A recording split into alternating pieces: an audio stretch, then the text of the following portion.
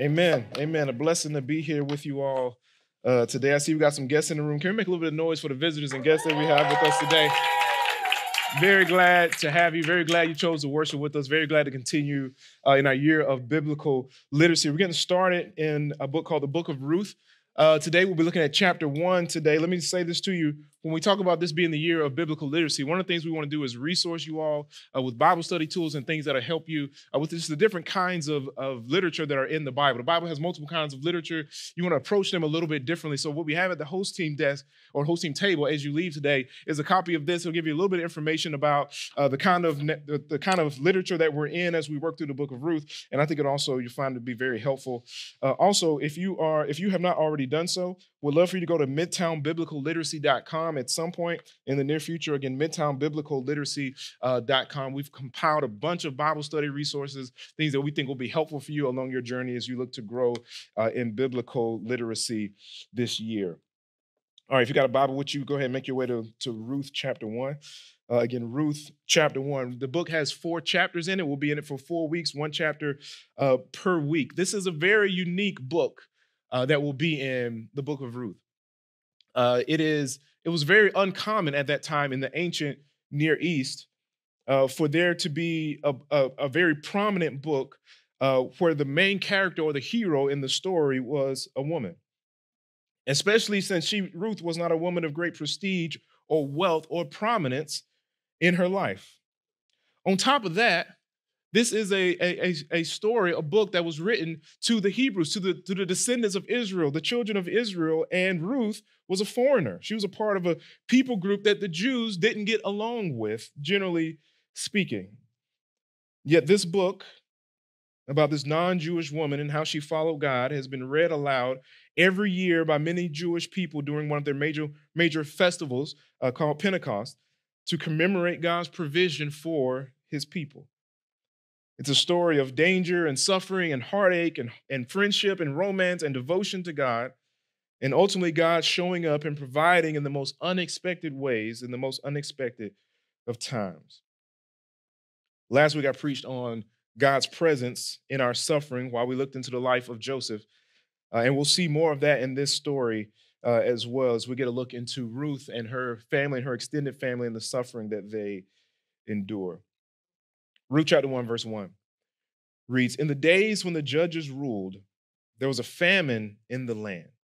And a man of Bethlehem in Judah went to sojourn in the country of Moab, he and his wife and his two sons. So, as we talk about the year of biblical literacy, one of the things I want to try to do is kind of point a few things out that might help you in your understanding of the, of the Bible along the way. Uh, a lot of times in the beginning of a story, just like many other stories, the Bible is going to give you the setting and some context for the story that's about to take place. It's going to answer questions like the when, the what, the where, the who, and the how. So, this tells us the when. It says, in the time that judges ruled, if you're familiar with the book of Judges, you know that it was a time when God's people were never really consistently following him. Oftentimes they would turn away from God and turn to idolatry. Then there would be some kind of suffering that comes into the land, and God would use that to try to bring them back to Himself. Then eventually they would cry out to God and, and worship Him again, and there would be this time of peace and prosperity until they turned away from God. And in the book of Judges, and then the time that this book is set when the judges ruled, that was a continuous cycle uh, that continue to, uh, to take place among God's people. Verse 1 also tells us about the what that is happening. It says that there's a famine in the land. Now, in our day, in our time, in our place where we live, that probably doesn't mean a whole lot to us. To them, a famine was devastating. It was, it was catastrophic. They're, in, they're a society that lives off of the land. They need the land to produce crops every single year for them to have food, for them to maybe even be able to, to have some type of financial wealth if they're engaging in trade. A famine. So I'll, I'll try to give you a little bit of an example to help you understand how, how big of a deal this is. Uh, so being in an election year this year, a lot of people have a lot of uh, maybe fear or maybe anxiety, concern, or whatever it is about who's going to be the next president. The, the, an election year doesn't, doesn't compare to the gravity of a famine that's taking place. If a famine takes place, my children might not eat. This is the level of concern that's taking place. So we see it's in the time of the judges. God's people aren't following him in the way that they should. And also there's this threat of starvation that is there. The first verse also tells us about the where that this is taking place. A man whose family was from Bethlehem, which is in the promised land where God took his people. He is now taking, because of the famine, his, his family to Moab. Moab was a group of, the Moabites were a group of people that were looked down on by the Israelites, by God's people. They were outsiders, they were pagans. Uh, many despised them. Let's continue reading verse 2. The name of the man was Elimelech. So that is the, the, the husband that, that took his, his wife and his children uh, to the Moabites. The name of the man was Elimelech, and the name of his wife, Naomi.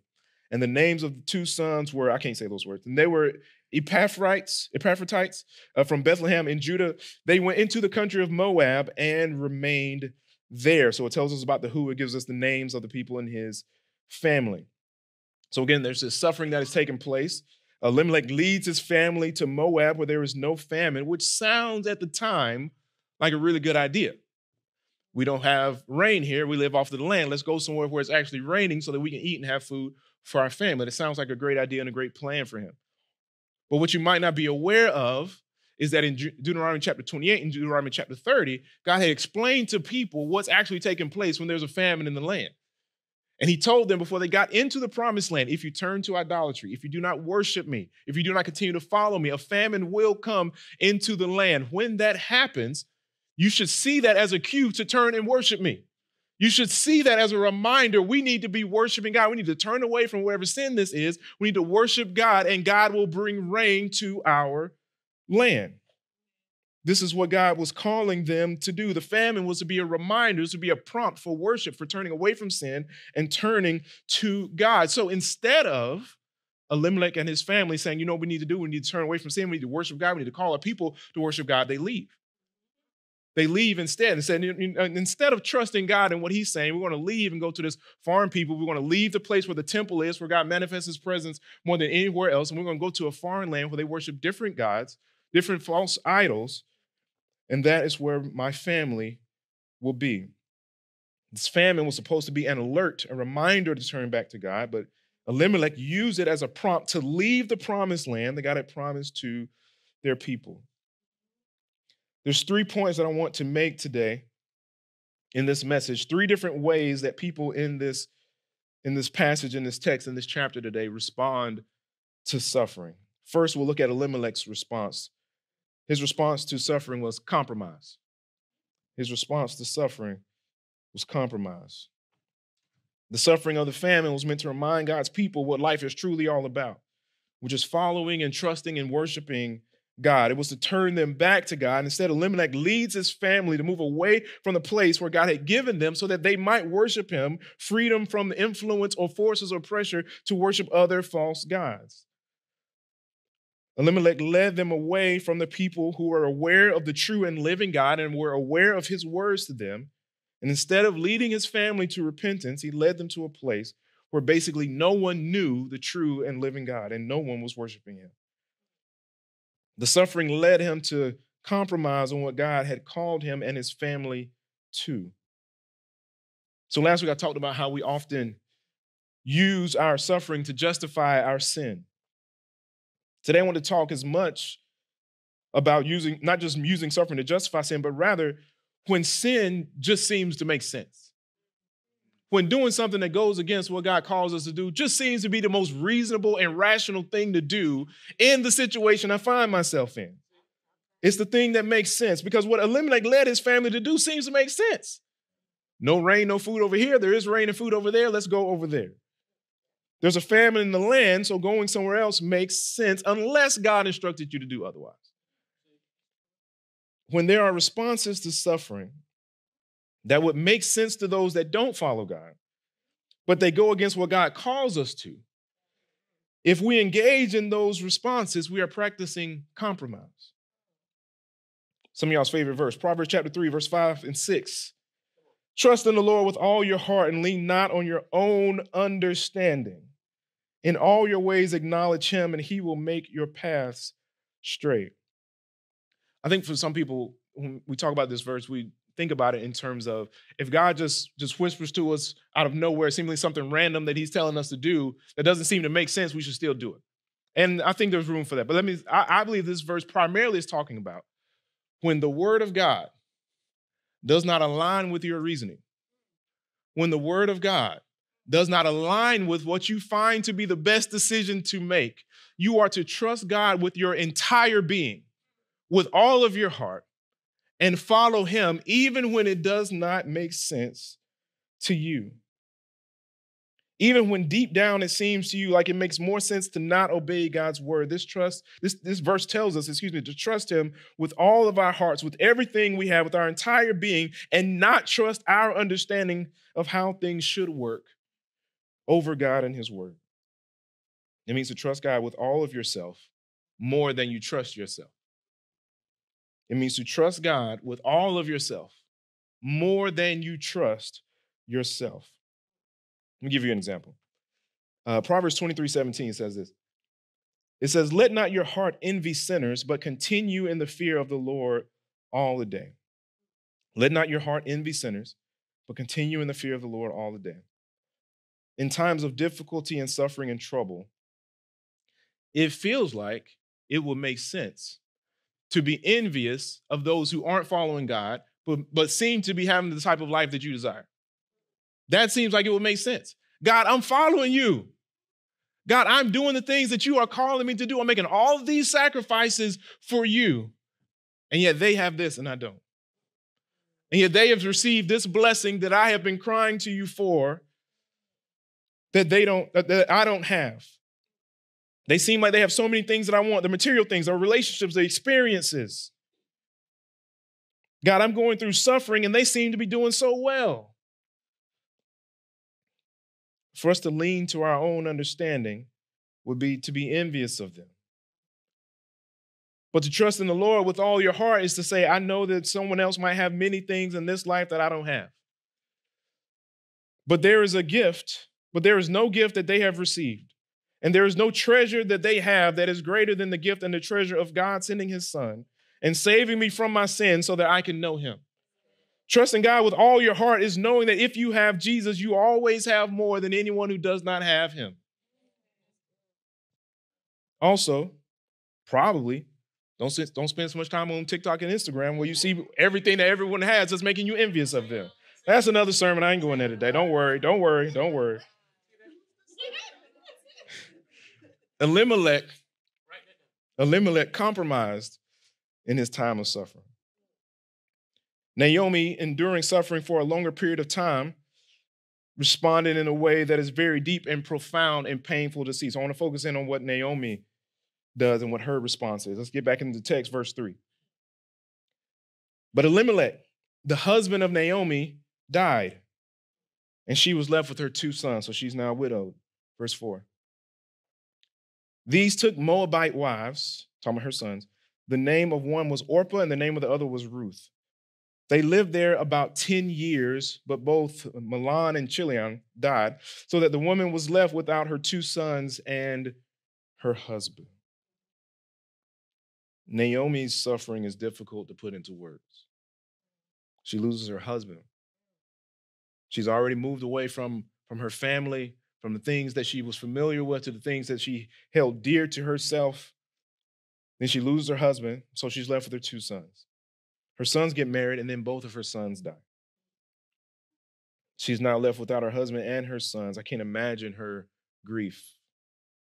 I can't imagine the pain, the sorrow, the sadness that Naomi Naomi's experienced. I can't imagine the anger that I will assume she has. And on top of all that, there's likely a fear, uh, a feeling of lack of security that she has now. Because generally speaking, the, the retirement plan for grown-ups was having sons or, or grandsons that could take care of you, especially in that society where much of the earning power was, was held by men. So for many women at that time, getting married and having sons was a means of security because it means they had someone to provide for and advocate for and protect them. So, on top of all the pain, sorrow, sadness, anger, and grief, there's a lack of security, a lack of protection that's there now as well. She's likely experiencing what many would refer to as compounded grief or cumulative grief, where which is where before you can fully process one loss, you're hit with another one. And these losses have a huge, huge impact on Naomi. Verse 13, this is her talking to her daughters in law. No, my daughters, for it is exceedingly bitter to me for your sake that the hand of the Lord has gone out against me. So Naomi's saying that she's going to go back to her family, go back to her people in the promised land. Her daughters in law are saying, okay, we're going to come with you. And she says, no, don't do that. She said, the hand of the Lord has gone out against me. we'll jump down to verse 19. So the two of them went on until they came to Bethlehem. And when they came to Bethlehem, the whole town was stirred because of them. And the women and the women said, Is this Naomi? She said to them, Do not call me Naomi. Call me Mara, for the Almighty has dealt very bitterly with me. You see, the name Naomi means pleasant. The name Mara means bitter. She says, Don't call me pleasant. Call me bitter. That is who I am now. That is how I see myself. That is not how I define myself. Verse 21 I went away full. this is Naomi talking. I went away full, and the Lord has brought me back empty. Why call me Naomi when the Lord has testified against me and the Almighty has brought calamity upon me? The second response to suffering in this passage is bitterness. The second response to suffering in this passage is bitterness. The grief, the pain, the sorrow, the loss, the hurt, the suffering has changed Naomi. Now, there are at least a dozen times in the Bible when someone's name gets changed. Every other time that I've been able to find in the Bible when someone's name gets changed, it's someone else changing their name, usually God. It's God telling Abram, you're going to be Abraham now. It's God telling Simon, you're going to be Peter now. It's God telling Sarai, you're going to be Sarah now. It's God telling Jacob, as we talked about earlier, you're going to be Israel now. This is your new name. This is the only time that I can think of when someone says, I'm changing my name. She says, Don't call me Naomi, call me Mara. Don't call me pleasant, call me bitter. She now feels defined by this bitterness. When she considers who she is and her life, she identifies with her bitterness as much as anything else. And when she thinks about God, she identifies him as someone who has dealt bitterly with her. This suffering has not only changed her view of herself, but her view of God. She says, The Lord has brought calamity against her. The Hebrew term for brought calamity means to hurt, to spoil, to do evil against, to punish, to break into pieces, or to afflict. There are a lot of people, a lot of Christians who over time have turned cold towards God after seasons of ongoing suffering. I think it's often unintentional. I think over time you just begin to trust God maybe a little bit less.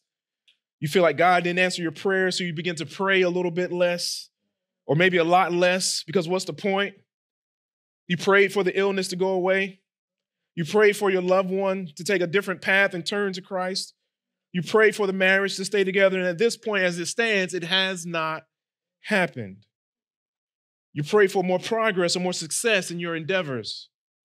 You pray for your relationships to be at a different place. You pray for yourself to feel better by now. And at this point, it has not happened. And it's affected your spiritual life and your walk with God.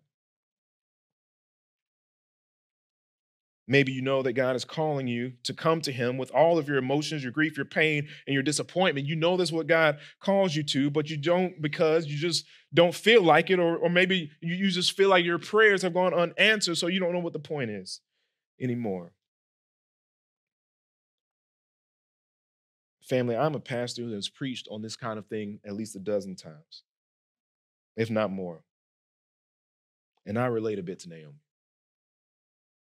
Now, I, I, I wouldn't say at this point I'm in a place of bitterness, but I would say that there have been times in my life, if I can have a, a transparent moment, even recently, where, where I felt a resistance to prayer because of a season of suffering that I've been in that I hadn't felt before a resistance, something in me that's like, I don't want to go to God with this again.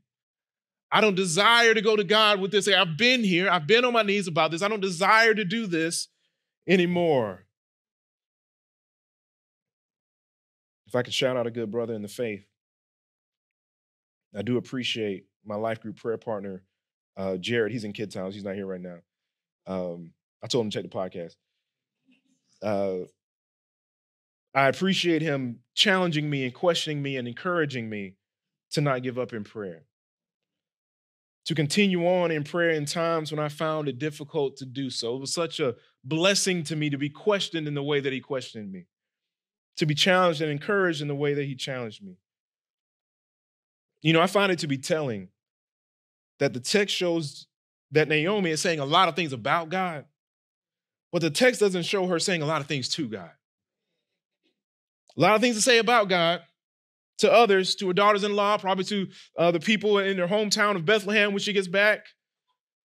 Doesn't show her saying a lot of things to God. And I just want to tell you that that, that, that, that pattern of behavior makes your heart and your mind a safe place for bitterness towards God to grow.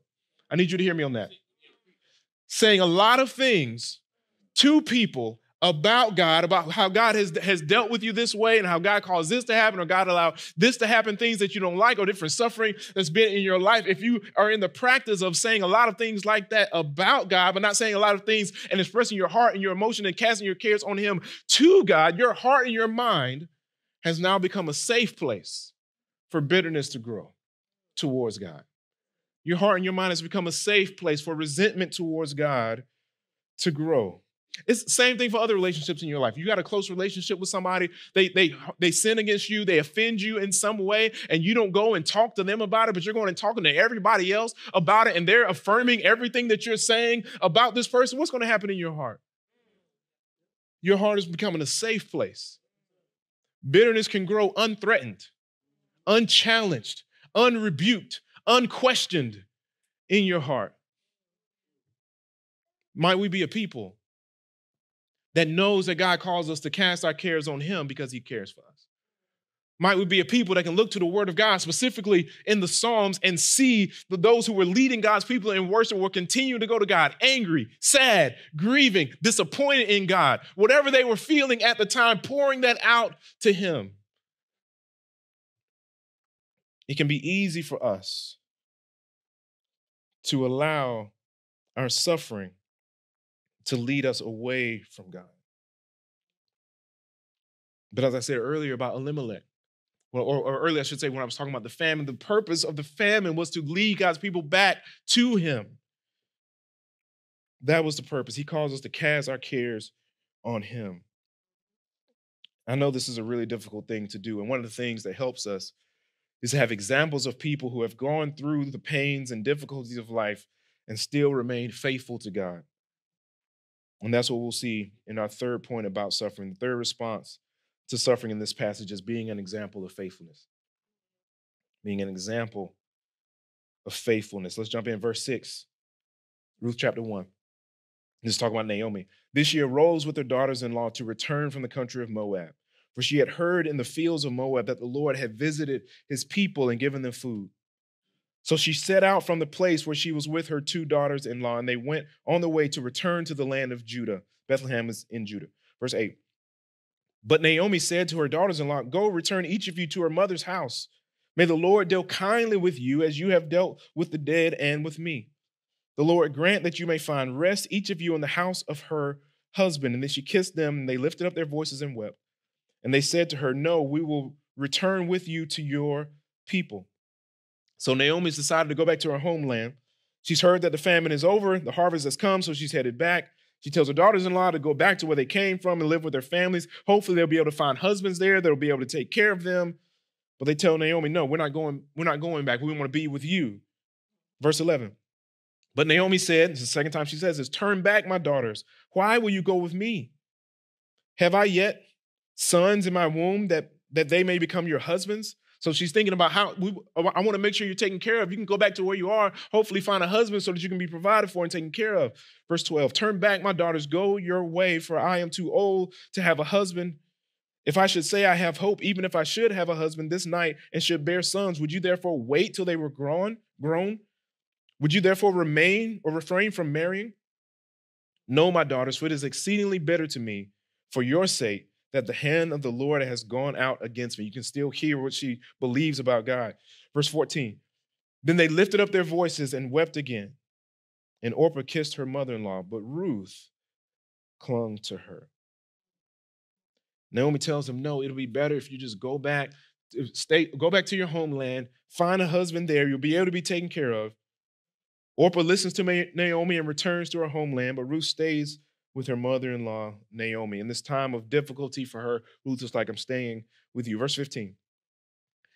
And she said, now she's talking to Ruth, and she said, See, your sister in law has gone back to her people. Notice this is important, and to her gods. Return after your sister in law. Don't miss that. That's a, actually a big part of this story. The nations were associated with their gods. Oftentimes, if you lived there, you're going to worship the gods that that nation esteemed and worshiped. She's like, Can't you see what, what your sister in law has done? She's going back to her people, going back to their gods. Verse 16, but Ruth said, Do not urge me to leave you or to return from following you, following you. So Ruth says to her mother-in-law, Naomi, respectfully, don't tell me what to do. Respectfully, my mother in law, don't tell me what to do. Don't tell me to leave you and go back to my homeland. For where you go, I will go.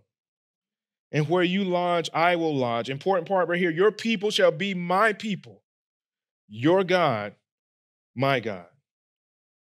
She's saying that the people of God, the community of God, the family of God will be her people. She is committed and devoted to the people of God, and she is committed and devoted to the one true and living God now. Notice that in verse 15, Naomi said that Orpah has returned to her people and to her gods, plural. But Ruth says, Your God, singular, will be my God. She is saying, I don't want all those idols anymore. I want the true and living God. I want the God that I've learned about from being a part of your family, Naomi. I want him. Naomi, don't tell me to go anywhere else. The true and living God is my God, and his people are now my people. See, in her bitterness, after all the suffering that she had endured, Naomi is telling Ruth and Orpah to turn to their idols. Naomi is saying, hey, hopefully you'll likely be able to find a husband. It'll be better for you. Just go back to go back to your homeland, continue to worship those idols. That'll be better for you. This, this bitterness deep inside Naomi is causing her to lead or, or tell or urge her daughters in law to not even follow God. This bitterness is taking over her. She's okay with them not following God or the God that she believes has harmed her. Verse 17, Ruth says this where you die, I will die, and there will I be buried. May the Lord do so to me, and more also, if anything but death parts me from you. She's saying, I want to be with you to the end. And she's saying, if anything but death separates me from you, may the Lord kill me and cause me to die right there. Ruth is like, I'm not having it. She is going to stay with Naomi, and more importantly, with the God of with God and with God's people. Ruth is an example for us of faithfulness in suffering. She's lost her husband. She's probably also experiencing fear at this time. She's saying, I'm going to stick with, with Naomi, even though, even though she knows Naomi doesn't have anybody to provide for her at this time. She's an example of not turning to compromise.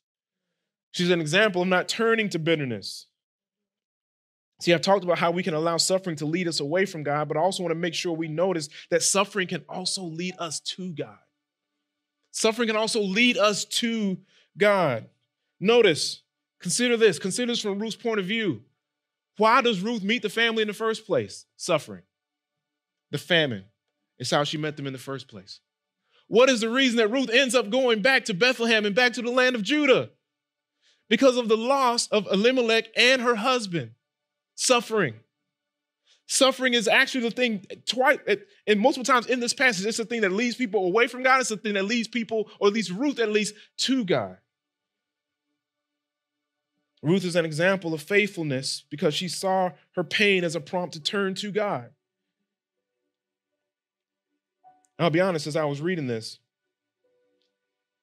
it made me think about how Three of the four people that were baptized in our church last year, and my conversations with them all pointed to times of suffering that led them to place their faith in God.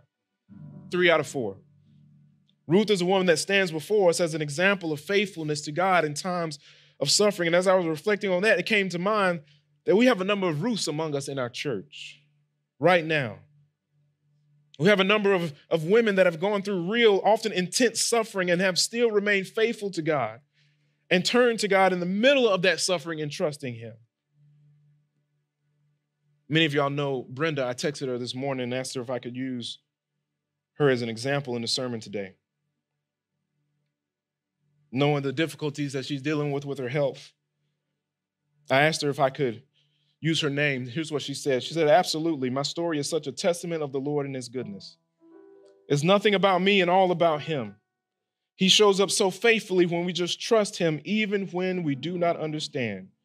Catch this my faith is stronger because of my trials.